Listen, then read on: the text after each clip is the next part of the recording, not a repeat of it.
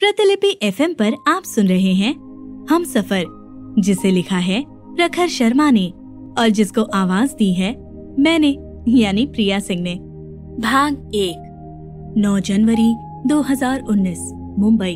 स्थान the three Ds venture the three Ds के office के सेंट्रल मीटिंग हॉल में ज़बरदस्त तैयारियाँ चल रही थी। आज उनके नए सीईओ पहली बार बोर्ड ऑफ़ डायरेक्टर्स और कुछ अन्य मुख्य अधिकारियों के साथ मीटिंग करने वाले थे। वैसे तो नए सीईओ सभी के लिए कोई नए व्यक्तित्व नहीं थे, क्योंकि वो पिछले पाँच सालों से उन सभी के साथ ही काम कर रहे थे। बस फ़र्क इतना सा था कि आज उनका कद वही पहुँच गया था, जिसकी सभी को आशा भी थी और तमन्ना भी। सेंट्रल मीटिंग हॉल का दरवाज़ा खुला और एक शख्स भीतर दाखिल हुए। एवरीथिंग इज़ ओके लतिका ये आवाज़ थी मिस्टर शेनॉय खुराना की, जो द थ्री डी वेंचर्स के सीएमडी मिस्टर शांतनु धनराज के पर्सनल सेक्रेटरी थे। मिस्टर शांतनु की कंपनी के थ्री थे सॉफ्टवेयर डिज़ाइनिंग, डेट फाइनेंसिंग, और वे खुद, यानी D for Dhanraj.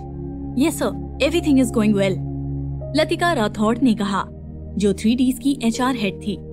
That's good sir बस कुछ ही देर में घर से निकलने वाले हैं। शनॉय ने कहा और कुछ देर इंतज़ाम देख हॉल से बाहर निकल गए।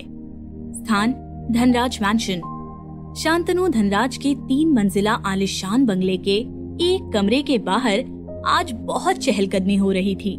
सभी नौकर और परिवार के सदस्य भी बारी बारी से देखने आ रहे थे कि कब जाकर इस कमरे का दरवाज़ा खुलेगा और सभी को इस हड़बड़ाहट से राहत मिलेगी। क्या हुआ? आए अभी तक? अभिलाषा धनराज ने पूछा। सॉरी मैम लेकिन अभी तक नहीं आए। एक नौकर ने कहा, ये लड़का भी ना, यहाँ इसके पास इसका वेट करके ही बेचैन हो रहे हैं और ये है कि बस शावर में खोया हुआ होगा। अभिलाषा धनराज बोली, कमरे के भीतर बाथरूम में शावर ऑन था और पानी की तेज बौछारों के बीच वो खड़ा हुआ था। आज उसकी अब तक की लाइफ का सबसे महत्वपूर्ण दिन था।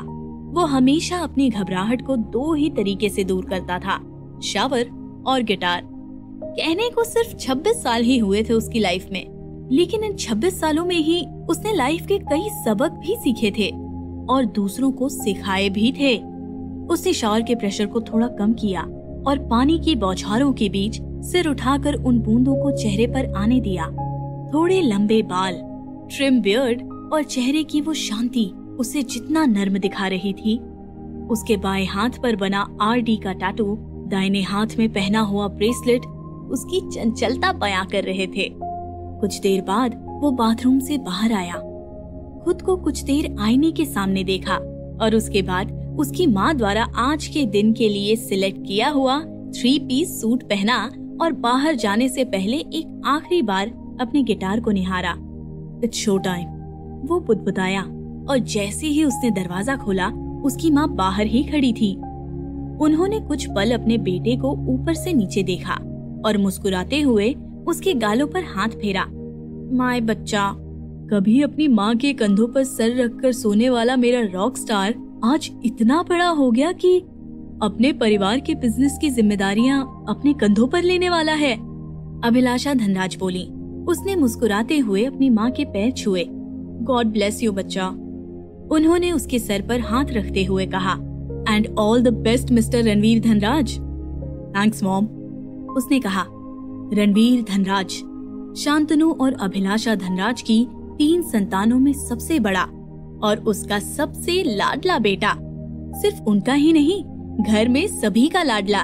फिर चाहे वो उसकी दीदी हो या उसके छोटे भाई बहन और उसका कारण भी स्पष्ट था।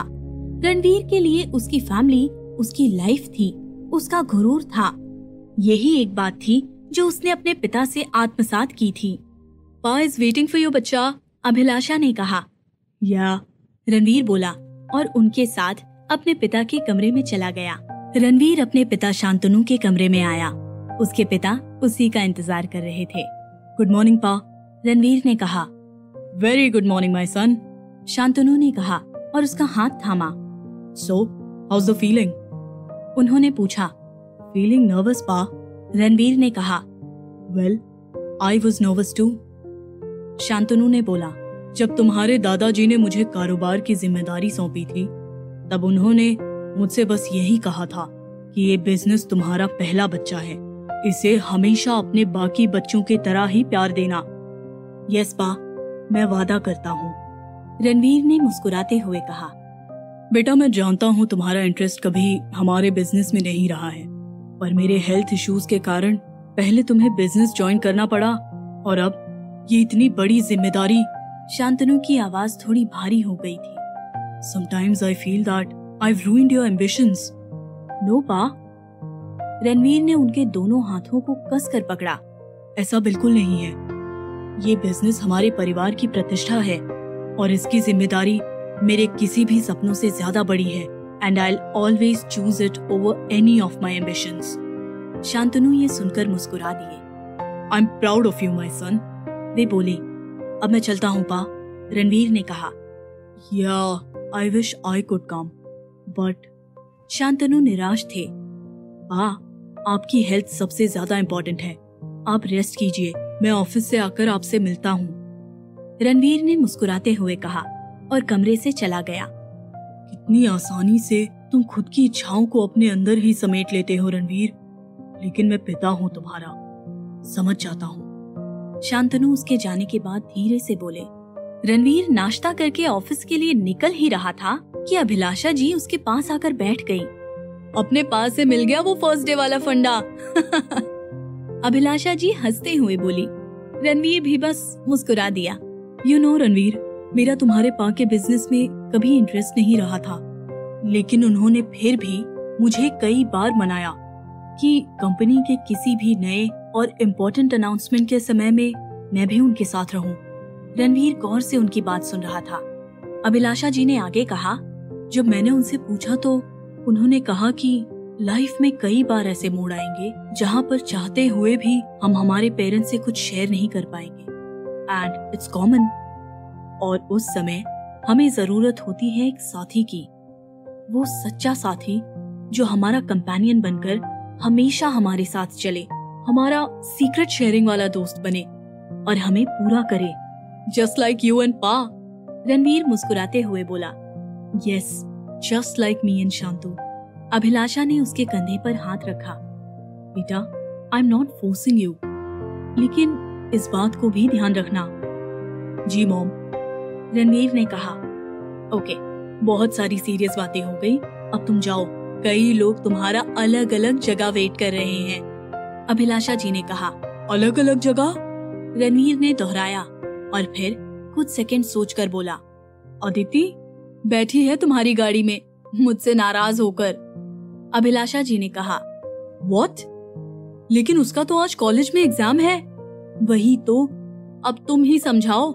अभिलाषा जी ने कहा, रणवीर की तीनों गाड़ियाँ बाहर खड़ी हो गई थी।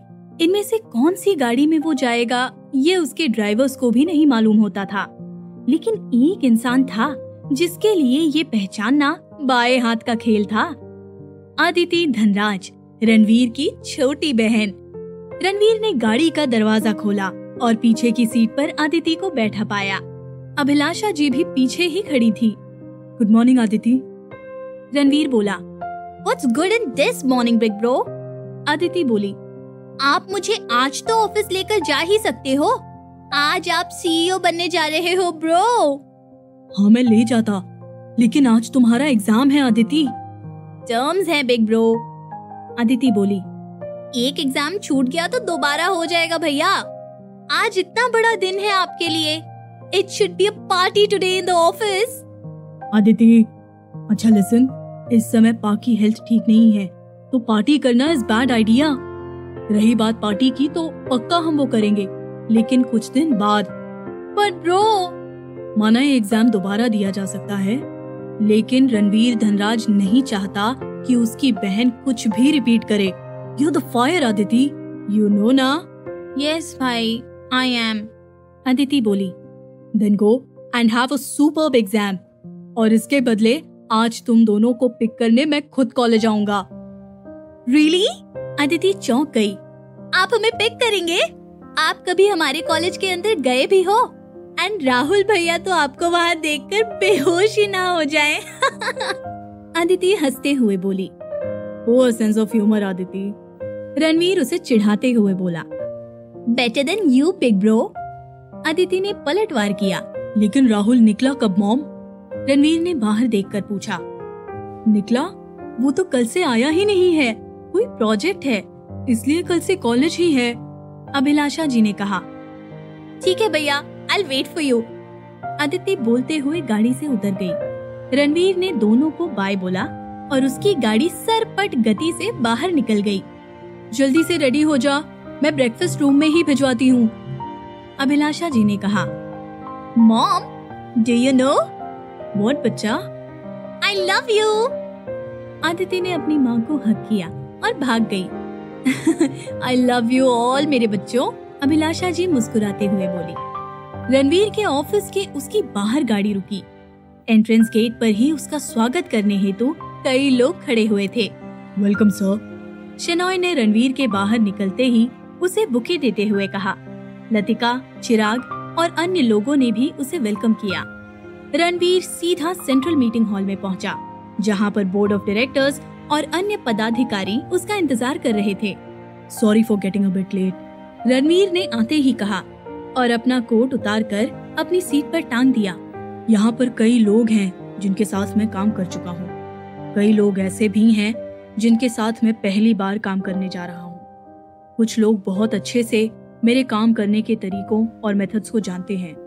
और कुछ लोगों के लिए ये एक नया एक्सपीरियंस होने वाला है। आप में से कई लोगों के मन में शायद मेरे लिए डाउट भी हो, पर मैं आपको एक बात क्लियर बता देना चाहता हूँ। ये बिज़नेस मेरे लिए मेरे बच्चे के समान है, और मैं आप सभी से वादा करता हूँ कि इसे मैं उसी तरह से संभालूँगा, जैसे एक पिता अपने न्यूबॉर्न बेबी को संभालता है। शेनॉय ये सुनकर मंद मंद मुस्कुरा रहे थे। रणवीर में आज उन्हें पहली बार शांतनु की झलक दिखाई दे रही थी। जेंटलमैन, मैं अपने पा की जगह तो नहीं ले सकता, और ना ही मैं ऐसा कुछ करने की सोच रखता हूँ। मेरा इरादा और मेरा लक्ष्य सिर्फ़ एक ही है। मैं अपने पेरेंट्स की ब्लेसिंग्स और आप सभी के विश्वास और सपोर्ट के साथ इस बिज़नेस को उस ऊंचाई पर लेकर जाऊँ कि मेरे पा भी कहें I am the father of Ranveer Dhanraj. सभी ये सुनकर तालियाँ बजाने लगे। शनॉय को अब काफ़ी राहत मिली थी। उन्हें रणवीर का सेल्फ कॉन्फिडेंस और जज्बा देखकर ये भरोसा हो गया था कि शांतनु ने बिज़नेस की कमान रणवीर को सौंप कर कोई गलती नहीं की थी। स्थान M R I E college शहर के सबसे बड़े मल्टी कोर्स कॉलेज के कैंटीन लॉन में ज़बरदस्त भीड़ लगी हुई थी। फाइनल ईयर के दो लड़के आपस में बैठे हुए थे और उनके इर्द गिर्द उनके दोस्त उन्हें घेरे हुए थे। Go for it Rahul come on Nish दोनों तरफ़ से हुटिंग जारी थी। एक फ़र्स्ट ईयर का लड़का एग्ज़ाम देकर वहाँ आया। क्या हो रहा है गाइस इतनी भीड़? वो देख, राहुल और नेस्टर का पंजा कंपटीशन चल रहा है। एक लड़की ने कहा और इशारा किया। राहुल और नेस्टर एक दूसरे की ओर आँखें गड़ाए, पंजे पर बैठे हुए थे। मुकाबला फ़िलहाल किसी भी तरफ़ जाता नहीं दिखाई दे रहा था। तभी एक सुंदर लड़की राहुल के पास आकर खड़ी हो गई। You can win this Rahul उसने मुस्कुराते हुए कहा, आरडी, राहुल बोला, call me RD, you beautiful. Okay RD myself Sherry, वो बोली। राहुल का हाथ नेस्टर की तरफ़ थोड़ा झुकता दिखाई पड़ रहा था। सभी की आँखें तनी हुई थी। अचानक राहुल ने हाथ को अजीब और गरीब झटका दिया और नेस्टर के हाथ को अपनी साइड ला पटका। Yes, Rahul is the winner! Rahul का दोस्त निकुंज चिल्लाया, राहुल राहुल राहुल! सभी लोग हुटिंग करने लगे। जब तक अदिति भी कैंटीन की तरफ़ आ गई, उसने लोगों को वहाँ चेयर करते हुए देखा। ये क्या हो रहा है? और राहुल भाई और नेस्टर यहाँ? राहुल खड़ा हुआ, अपना हाथ थोड़ा ट्विस्ट करके सही किया और फिर हाथ हिलाते हुए बोला थैंक्स गाइस राहुल नेस्टर के पास आया और उसके कंधे पर हाथ रखा। डोंट बी अपसेट निश अभी तो तुझे बहुत बार हराना है. राहुल ने मजाकिया अंदाज में कहा। और हंसने लगा। इतना सुनते ही राहुल के बाकी दोस्त भी हंसने लगे। नेस्टर ने ये देखा और बिना कुछ सोचे समझे वहीं पर राहुल के चेहरे पर घूसा जड़ दिया। आसपास का शोर एकदम सन्नाटे में बदल गया। राहुल अचानक हुए इस वार से एक पल भौचक्का रह गया। लेकिन उसने अगले ही पल खुद को संभाला और अपनी नाक के पास हाथ ले जाकर देखा। उसकी नाक के पास से खून चमक उठा था। इसकी तो निकुंज चिल्लाते हुए आया, लेकिन राहुल ने उसे रोक लिया। चल, निकी, राहुल मुस्कुराते हुए बोला, हम यहाँ पढ़ने आते हैं। गुंडागर्दी करने नहीं, लेकिन इसने तुझे मारा है। निकुंज चिल्लाया हाँ तो हम रिवेंज लेंगे ना? लेकिन ऐसे नहीं यार। राहुल ने कहा, मोम कहती है, जब आपको पता हो कि कोई आपकी बेइज्जती भी डिजर्व नहीं करता तो वहाँ अपना टाइम वेस्ट नहीं करना चाहिए।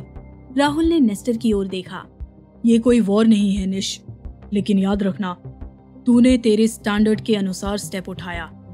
मैं मेरे स्टैंडर्ड के अनुसार स्टेप लूँगा। ऑफ़ कोर्स मैं वेट करूँगा। नेस्टर ने अकड़ दिखाते हुए कहा, ये सब अब तक अदिति दूर से ही देख रही थी। उसका दिमाग खराब हो गया था। What the hell? वो बुदबुदाई और मोबाइल निकाला। रणवीर अपनी मीटिंग्स और बाकी काम खत्म कर निकल ही रहा था। कि लतिका उसे मिल गई। लतिका एचआर डिपार्टमेंट की हेड ही नहीं, बल्कि रणवीर की एक बहुत अच्छी दोस्त भी थी। रणवीर एमबीए प्रोग्राम के समय उसका सीनियर था और उसी समय उसने लतिका की स्किल्स देख उसे अपने कंपनी में जॉब ऑफ़र कर दिया था। कहाँ जा रहे हो सर लतिका ने पूछा। ओ प्लीज़ लतिका, तुम मुझे सर मत कहो यार। कॉल भी रणवीर। मेरी पोस्ट बदल जाने से हमारी दोस्ती नहीं बदलने वाली है। हाँ लेकिन यहाँ तुम मेरे बॉस हो। लतिका हँसते हुए बोली कमॉन लतिका, ये कोई इशू नहीं। ओके रणवीर, अब तो सही है। यस दैट्स ग्रेट लतिका कुछ बोलने ही वाली थी कि उसका मोबाइल बजा। लतिका दी, मैंने सोचा कहीं भाई मीटिंग में बिज़ी हो गए, इसलिए मैंने आपको कॉल किया। अगर भाई फ्री हो जाए तो उन्हें बोलना कि तुरंत हमारे कॉलेज आए। What happen Aditi and Ranveer is right here ये लो बात करो। लतिका ने मोबाइल रणवीर को दे दिया। अदिति, रणवीर बोला। अदिति ने उसे सब कुछ बता दिया। ये सुनते ही रणवीर का गुस्सा सातवें आसमान पर पहुँच गया था। उसने एक शब्द नहीं कहा। मोबाइल लतिका को थमाया। ड्राइवर से गाड़ी की चाबी ली और फर्राटेदार रफ्तार में गाड़ी निकाल के ले गया। ओ माई गॉड रणवीर बहुत गुस्से में था। I hope everything is fine Latika चिंतित होकर बोली। इस कहानी को पूरा सुनने के लिए डाउनलोड करें प्रतिलिपि एफएम ऐप और ऐसी दिलचस्प कहानियों से जुड़ने के लिए इस पेज को लाइक सब्सक्राइब और शेयर करना ना भूलें।